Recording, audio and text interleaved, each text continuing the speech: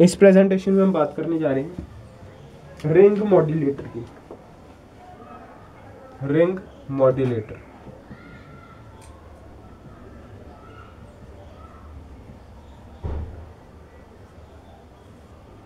Ring modulator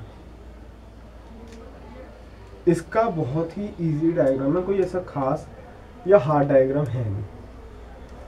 अभी समझ आ जाएगा क्या डायग्राम है इसका।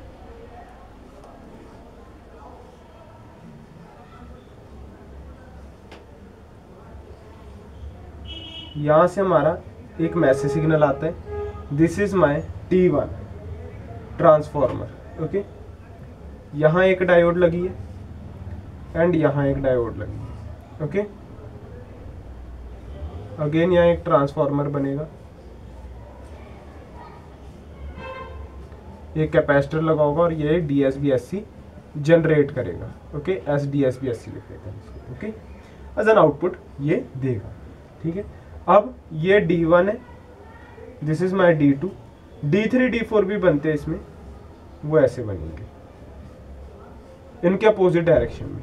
ये इस साइड को मूव कर रहे हैं। बाकी ये डी थ्री और डी फोर इस साइड को करेंगे। This is your D four and this is your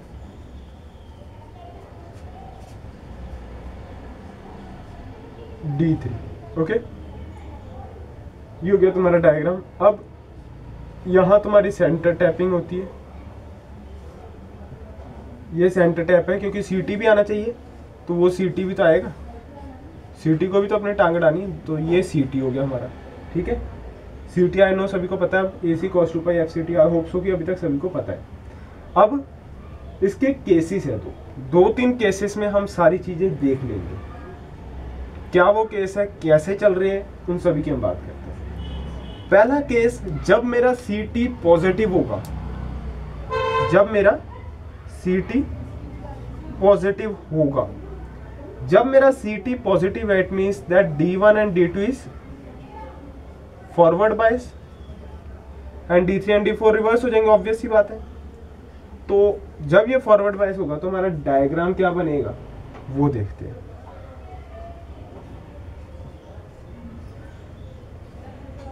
forward bias यही होगा। आई होप सभी को कैमरे में ये चीज़ दिख रही होगी कि ये दोनों डायोड को मैंने फॉरवर्ड बाइस कर दिया है।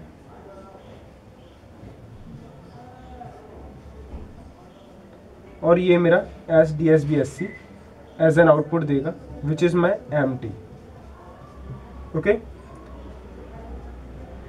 ठीक है जी? इसमें एक और चीज़ याद रखना कि करंट जितना इधर से जाएगा, उतना ही इधर से जाएगा तो करंट आपस में कैंसल भी करे जा रहे हैं एक दूसरे क्योंकि current are equal and opposite so they cancel each other ठीक है? Thus they are going to cancel the magnetic field इसलिए इसकी मैग्नेटिक फ़ील्ड भी कैंसल हो जाएगी। ठीक है? सो आउटपुट जो मोड होगा आउटपुट मोड इज़ ज़ीरो मैं आउटपुट ज़ीरो नहीं कह रहा output mode is my zero अब सेकंड केस में क्या ले रहा हूँ? जब मेरा सी टी क्या है? नेगेटिव है। ये डायग्राम बना लेना। Second case my C T is negative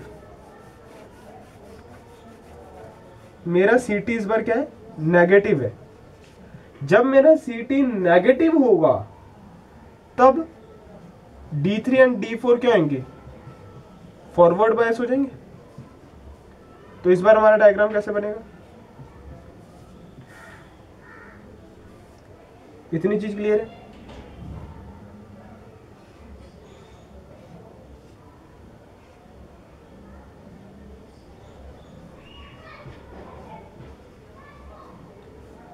ये हमारा बनेगा S D S B S C और इस बार हमारा माइनस ऑफ़ एम टी आएगा एज एन आउटपुट ये बात याद रखना। इधर भी अगर हम देखें तो जो करंट है, वो इधर इधर आ रहा होगा and they are also equal इस पहले वाले में इधर आ रहा था करंट कट रहा था। इसमें आ रहे इधर।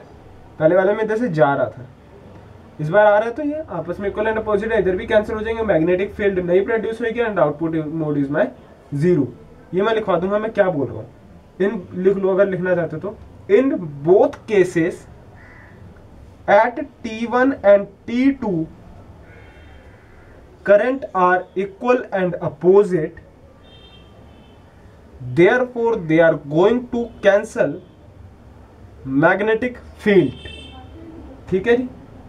So output mode is zero thus carrier wave suppress in both the cases इसलिए कैरियर वेव जो है, दोनों केसेस में सप्रेस्ड हो जाएगा। अब हम, अगर इसका डायग्राम देखें किस वे में चलता है ये, वो देखते हैं। सबसे इंटरेस्टिंग चीज़ है जो अब मैं बनाने जा रहा हूँ। इससे सबसे ज़्यादा चीज़ें क्लियर हो जाती हैं। ठीक है जी?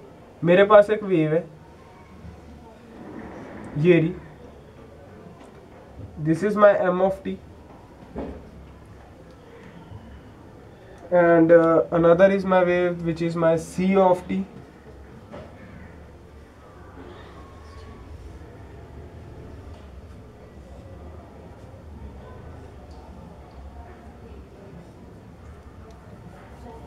थोड़ा सा सही बना लेते हैं हम इसको और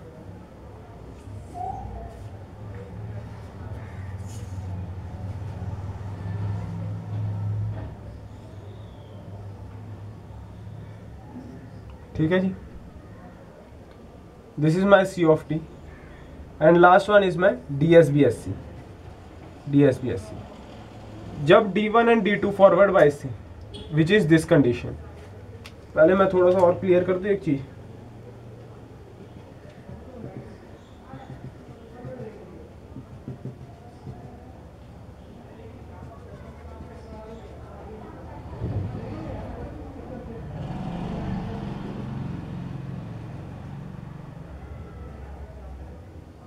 ठीक है?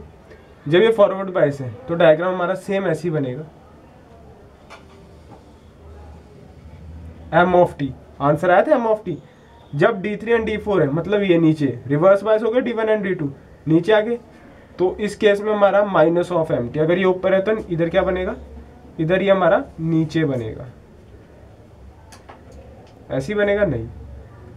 ऊपर से नीचे जा रहा था ऊपर से नीचे जाएगा इज़ एम राइट इसके बाद इधर सेम टू सेम बनेगा। वो क्या है? यहाँ से बन रहा है कुछ? कुछ इस वे में। ठीक है जी? फॉरवर्ड बाय से या रिवर्स उल्टा। उल्टा मतलब कुछ ऐसे। ऊपर से नीचे।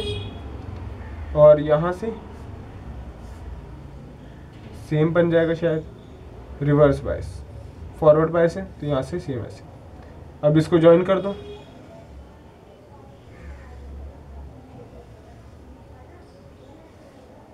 ये थोड़ा नीचे बनाना चाहिए था। इसकी हाइट का बनाएँगे ना। ठीक है? तो जहाँ ये फॉरवर्ड वाइज है सेम का सेम जहाँ नीचे तो इसका उल्टा। नीचे छप जाएगा। सेम उल्टा। ऊपर आ जाएगा। ठीक है? तो ये एज एन आउटपुट हो गया रिंग मॉड्यूलेटर का। ठीक है? आई होप इतना सभी को क्लियर होगा। इसमें किसी को कोई परेशानी नहीं होगी। अगर किसी को कोई भी परेशानी है कोई डाउट्स है तो कमेंट सेक्शन पे मैसेज कर सकते हैं।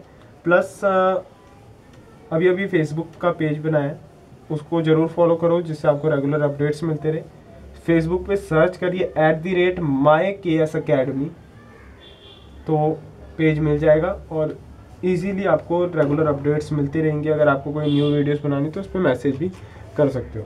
So that's all for this presentation अगली प्रेजेंटेशन में हम बात करेंगे सिंक्रोनस डिटेक्टर या फिर कोहरेंट डिटेक्टर दोनों को एक ही चीज़ है इसलिए तो उसकी बात करेंगे। So that's all for this presentation thank you